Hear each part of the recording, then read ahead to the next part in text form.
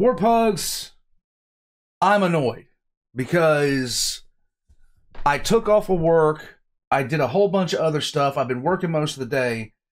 And about two hours ago, I found out that um, I'm not closing on Wednesday. I'm not closing tomorrow. I'm just, mm. um, so I've spent the better part of a couple hours on the phone with some people trying to get things canceled and everything else like that because my lender decided, oh, wait, I didn't mean that. I didn't mean that that was the case. I mean, blah, blah, blah, blah. I, my head is exploding. Warpugs, um, today we're going to be checking out a request from Mr. Foldem, uh, uh, ooh, God, ooh, mm, from Mr. Formalhalt. And this is on PointlessHub's when Hollywood made two videos about saving the White House. Now, honestly, this isn't the first time they've done stuff like this. Typically, whenever they for whatever reason, especially in the, you know, early to early 2000 to 2010 and even before then, they would release two movies about the same thing pretty much back to back. I mean, um you would have pretty much not identical but close in plot. It, it would it would seem like they just got the idea at the same time and took different directions to run with it. Watch out, cat. So, a couple of examples of this are, you know, one of one really good example of this is Armageddon and uh what is that place? Um Impact. Deep Impact. Both about this pretty much the same thing. Asteroids coming to wipe out humanity and blah blah blah blah blah. Now, usually when this happens, it's not two main studios doing it. You got you got you know you know Universal or Paramount or Paramount or Cat or somebody else just sitting there releasing a video, and then you got some B studio making one as well. Sometimes though, it happens, and in this particular instance, two movies are made about the same, pretty much the same thing. Like Olympia, Olympia has fallen, Olympus has fallen, and White House down. Same movie, different actors, different whole thing. It it's uncanny. Warpugs, we're gonna jump into this. Cat, all right, come here. You're being annoying. Get down. Stop being a pest. You're being a pest. I got a hold of your skull. You're being a pest. Rubbing your skull. Stop being a pest. Um, stop it. What is your deal? This is what I live with. So instead of moving today, instead of packing some stuff up, let's check this out. When Hollywood made two movies about the saving the White House, my God. And the fun part about it is the two people that play the president also both played lawyers. Let's go.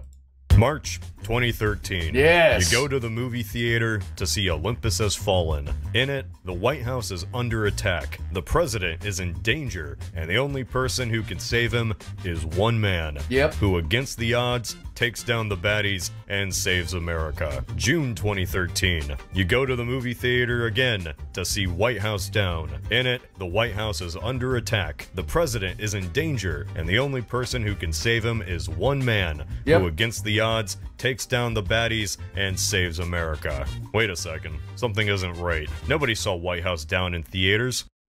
Also, these movies uh, might have the same exact premise. They I guess do. we should probably talk about that. Let's go. Pointless I'm gonna get this out of the way. This isn't some unique phenomenon. No. Two films with a similar setting. Yeah, D- this is another one. Dante's Peak, which is it's really good. I like Dante's Peak, and then Volcano, which um James Earl Jones deserved better. Or plot releasing within the same year has been a thing ever since movies existed. Yeah. They're called twin films. You've probably recognized this from time to time, even if you didn't know the term. Why twin films happen in the first place isn't because of a simple answer. Hollywood is an interconnected machine, and sometimes scripts travel between multiple studios before being accepted. Sometimes coincidences just happen, you know? And we can't make any assumptions for why that is. Once in a while, Hollywood just wants to make a movie about 19th century magicians in 2000s. The Illusionist and the Prestige. 6. Why these happen is a case to case situation. All that matters is that when they do, it's pretty funny. There was a year we had two movies about animated ants, two movies about an asteroid apocalypse, two movies about animated animals escaping from the zoo. And who could forget those two movies about United 93? Oh, God. Jesus Christ. Ugh. I like to imagine there was one person in 2006 who went to both 9-11 movies and then compared them on entertainment value alone. Even Battle Los Angeles technically had a twin movie. It was called Skyline, which was also about aliens invading LA. But Right. that's pretty much where the similarities ended. If you've never heard of Skyline, you know, that's fair. Many popular films we remember today strangely had twins that were forgotten to time. Like one sibling went on to open a law firm while the other disappeared in 2004 after owing too much money to the mob. Like, you might know of Top Gun, a film that defined an era for a generation of Xers. You can be my wingman anytime. A film so iconic that its sequel broke a billion solely by being not Marvel. Right. Turns out there was another movie in 1986 that also involved young fighter Seals. pilots called Iron Eagle. Oh, I thought he was going to say seals. I thought he was going to say that seriously because of the volleyball scene. What was it in the 80s in volleyball? may know how to fly. Now he must learn how to fight. Upon its release, critic Kevin Thomas of the LA Times praised the film as ludicrous and a total waste of time. but sometimes both twin films are released, and the common reception is just, eh, they were okay, I guess. And that was the fate that befell the two White House action thrillers, Olympus Has Fallen and White House Down. I want to talk about both of these because I think they're a good example of how differently you can execute a similar premise. The premise here being the White House is under attack, and only this guy can stop it. Right.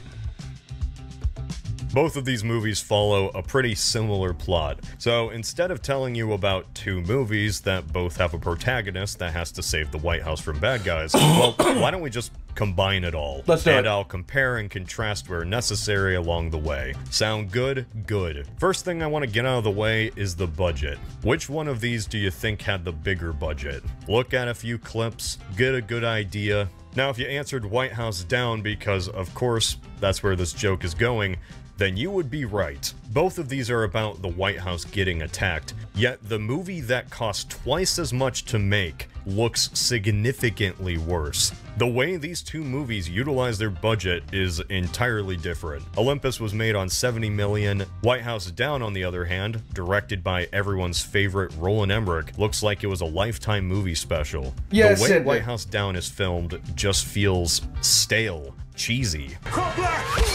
Ugh. Nothing about this feels like it was actually shot in DC. How are Emmerich movies only looking worse with each installment?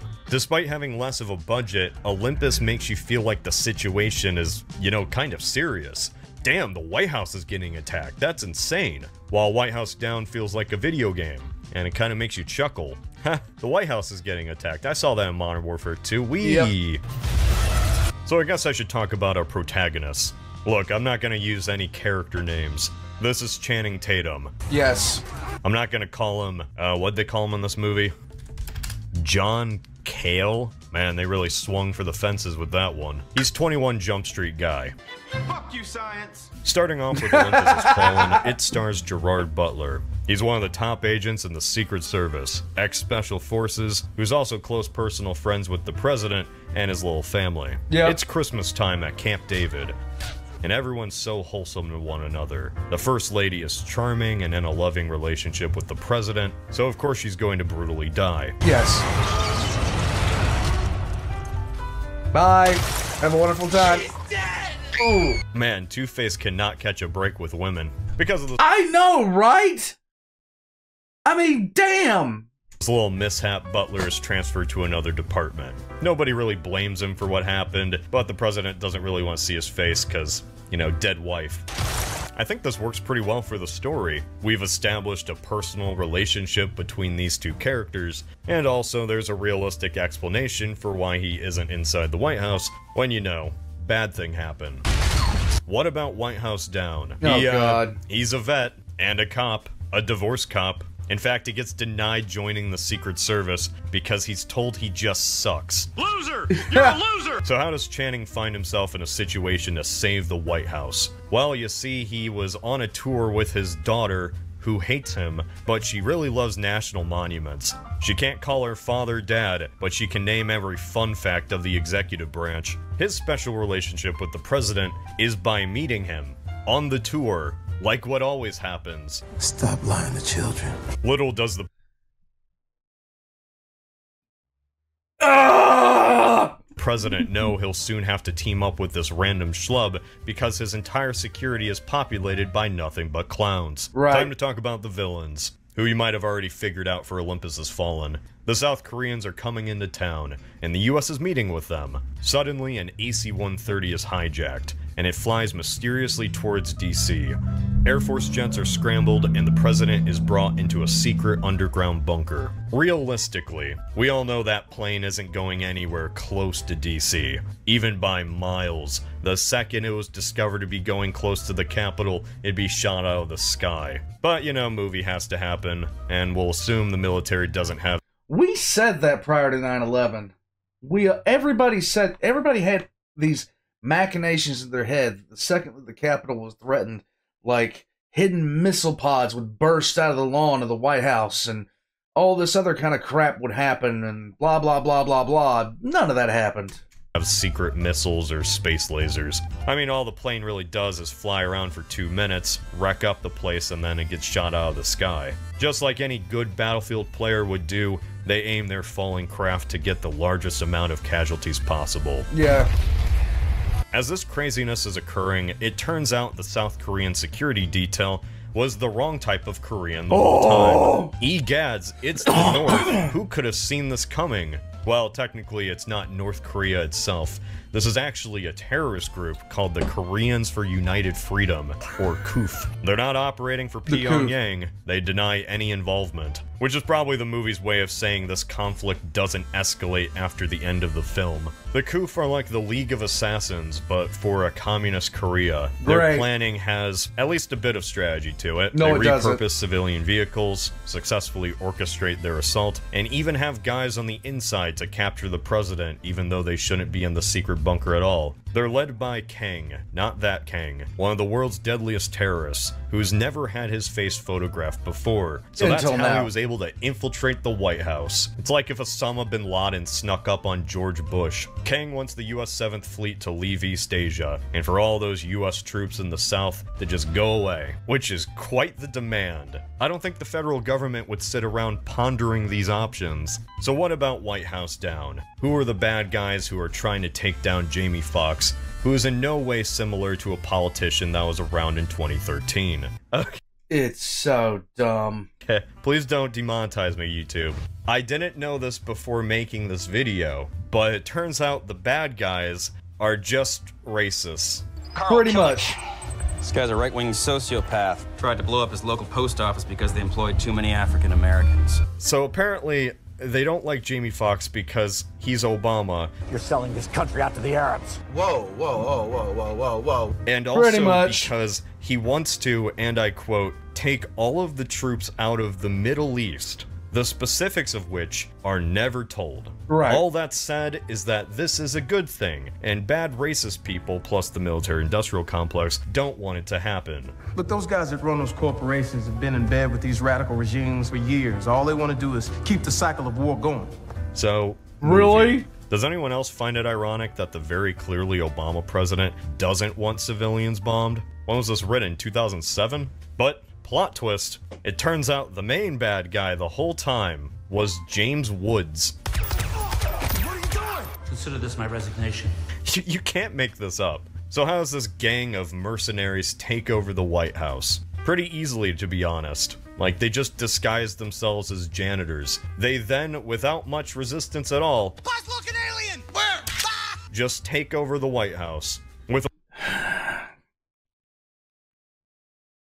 This was dumb. Olympus, it felt like a real battle to overrun the White House. Sure, it took some questionable tactics, But you know, it kind of felt earned by the villains to actually take it. Like, a lot of people die, there's still bodies lying around at the end of the movie. And yet, in White House, it just doesn't feel like a center of the US government is under attack. It feels like this is a soundstage, and they could only afford to have a few extras because they blew the budget on getting Jamie Foxx to sign up for this. Now, here's the thing. I'm gonna skip through both of these films. Here's a quick summary. Let's Bad go. guys attack, hostages are taken, one man tries to save the president, the government is trying to coordinate on the outside, they launch a raid by helicopter which ends in disaster, Yep. bad guys are taken out one by one, somewhere along the way an important kid is rescued, and then at the very end the main boss explains his master plan involving the nation's stockpile of nukes, which were the real target all along. There you go. I just saved you four hours. I think there was a joyriding scene somewhere in between there. I don't really know. While the overall story beats are scarily identical, both of these movies differ from one another in tone. Olympus Has Fallen is an R rated action movie. The violence is quick and the situation played completely straight. People are being executed. Our protagonist tortures a few guys. The president is pretty much held hostage inside a bunker for the entire movie. He's the Princess Peach to our Mario, Yep. which leaves him with nothing to really do other than be very angry. White House Down Yeah, he just looks constipated nonstop throughout this. despite being about actual neo-Nazis and blow up the Capitol, the tone is overall lighter. No, don't shoot him. It's a dumb summer action movie. Jamie Foxx as the president doesn't stay captured in a bunker all day. He shoots a rocket launcher. Yeah, it's just a good romp fighting side by side with the It has a cheesiness in it too. Oh my god. president, just like that time with JFK. Lock and load. With that out of the way, that brings us to the end of our films. The enemy force has been defeated, our heroes are face to face with the boss, and all is finally revealed. In Olympus, Kang secretly planned from the beginning to bring the president down into the secret bunker. As you can see, Kang knew about this top secret project called Cerberus.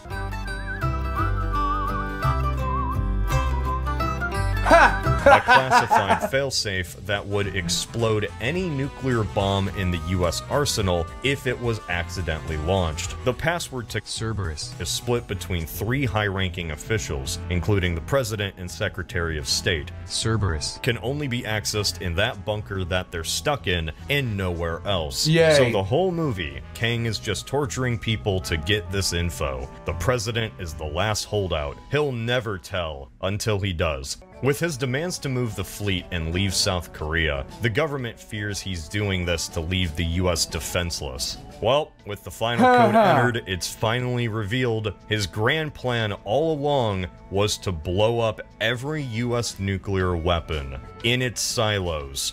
The silo doors are closed. Whose idea was it in this top secret project to include an explode everything button? The project was created to be a last minute failsafe before hitting a target, like the missile explodes in midair and nuclear war is just averted or something. My only question here is when would it ever be necessary to explode all of your nukes at once in midair? How was this option ever intended to be used properly? Coin operated self destruct. Not one of my better ideas. White House Down is somehow less eventful than almost blowing up the whole country, which is pretty hard to top, but that doesn't mean they didn't try. Right. As you see, James Woods, who betrayed the president, was angry that his son died in a raid that Jamie Foxx ordered. So his ultimate plan is to use the US nukes to blow up the entire Middle East. The Middle East is our last war. It will be us. Or them. So if you're watching this in Saudi Arabia, And his reasoning is so no American ever dies there again. Which, man, that's some logic, ain't it? The Damn, son. Um. lesson here isn't don't invade the Middle East. The lesson's wipe out the Middle East so we don't have an urge to invade it again. Obviously, by the end of both movies, these plans don't work. our heroes walk out of the White House, beaten up but glad that the day was victorious. Hooray. They bonded together, retaking the executive branch, and maybe even learning something about each other and themselves along the way. There's no way there's any horrific political ramifications for this at all. How were these terrorists able to disguise themselves as janitors or South Koreans? This seems like it was a horrific security breach, doesn't it? Yes. It's just never discussed again that the president gave up the nuclear codes and almost nuked the country. At the end of the day, the reaction for both of these films was a solid meh. The biggest thing that made both of them stand out in the first place was how similar they were to one another. Pretty it's much. their biggest legacy, this one joke. Olympus ended up actually making a decent profit, bringing in 170 million, meaning there is just enough of an excuse to spawn a sequel and then a third movie, which I didn't even know existed until doing this video. I don't know if either of these are good because I never saw them. At least they're keeping people employed, I guess. The same cannot be said for White House Down. Despite its massive budget and better summer slot, it was a flop. Well, it made up Yep. its budget at least, but for what it was advertised It's doing better than most Marvel movies are doing these days. as and compared to Emmerich's previous films, it underperformed hard, which is a trend that he has not escaped from, Right. despite being so similar.